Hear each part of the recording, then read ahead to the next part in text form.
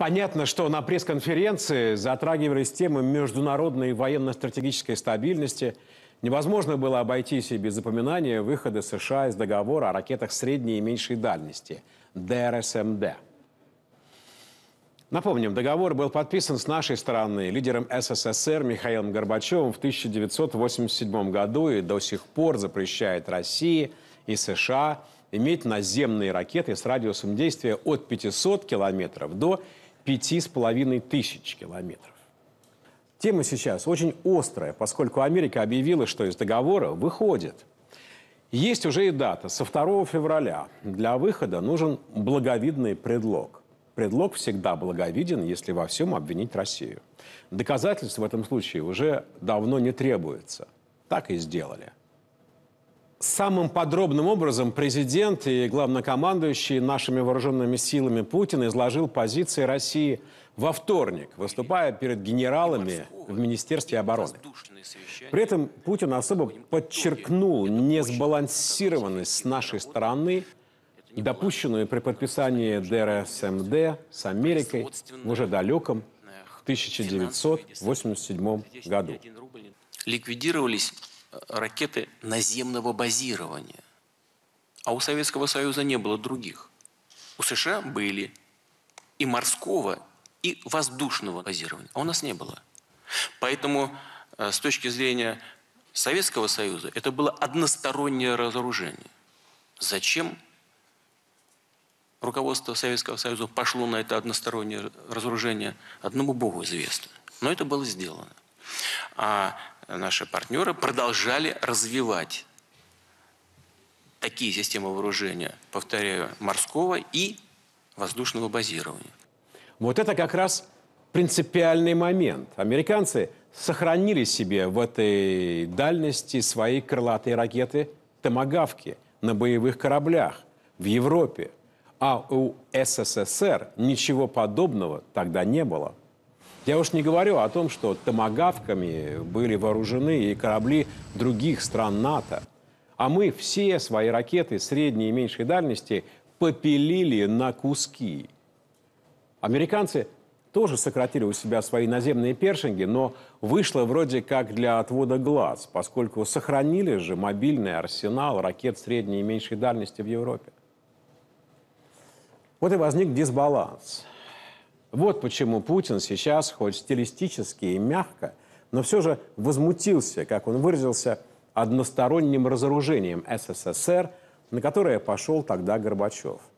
То есть территория СССР осталась под прицелом натовских ракет средней и меньшей дальности, а европейская территория стран НАТО нет.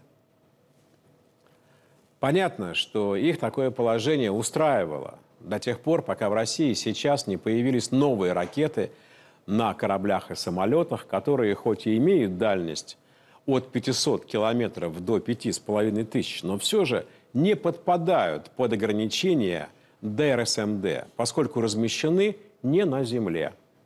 Например, блестяще показавшие себя в Сирии ракеты «Калибр», пущенные с Каспия –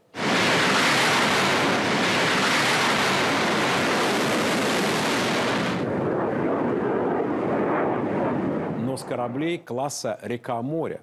Такой ракетный кораблик оттуда вполне по нашим внутренним рекам и каналам может довольно быстро догрести до Балтики. У него осадка-то чуть больше двух с половиной метров. Кому-то неприятно? Возможно, но не нарушает ДРСМД. То же самое с нашими новыми ракетами воздушного базирования Х-101 и «Кинжал». Понимаете, да, меняется ситуация она поменялась. Но не за счет того, что мы нарушили договор. Мы ничего не нарушаем.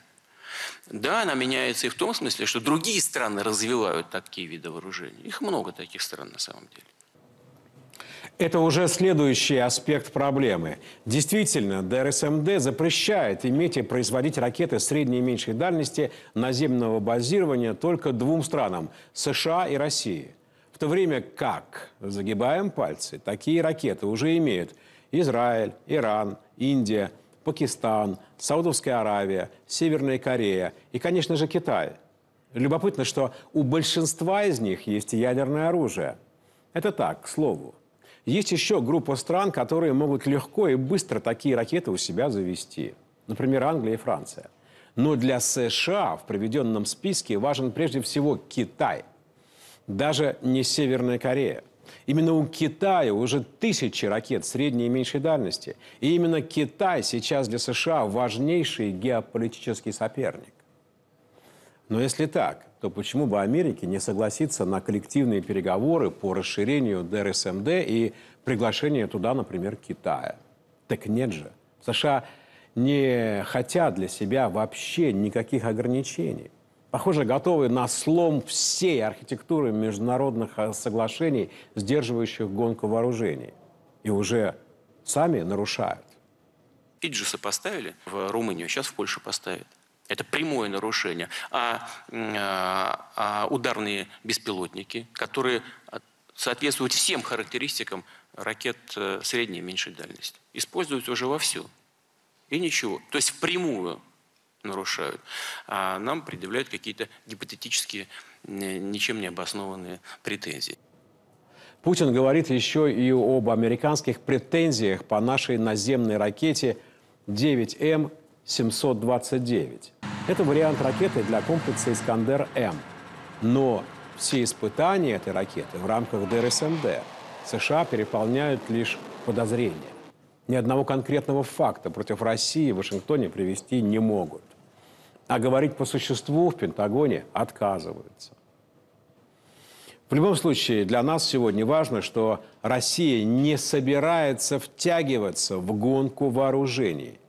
Для нас советский опыт здесь большой урок. Уже ученые. Военные расходы России вообще-то в перспективе планируют даже сокращать, а на военных производствах увеличивать долю гражданской продукции. То есть, и это важно, как бы сейчас себя не повела Америка, мы спокойны с уже созданным заделом, без чрезмерных трат по большому счету у нас и так все есть. Но если э, произойдет то, о чем, э, чем нас пытаются пугать, ну что ж, нам придется ответить э, соответствующим образом.